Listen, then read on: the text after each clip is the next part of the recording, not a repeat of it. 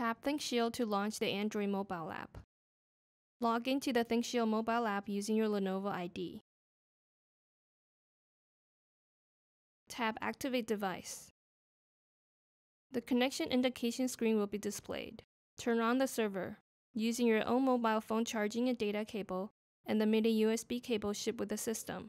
Connect the mobile phone to the server's XClarity controller mini USB connector. To enable tethering on your phone, tap Go to Settings. Enable USB tethering and go back to the previous page. Wait for the connection to establish.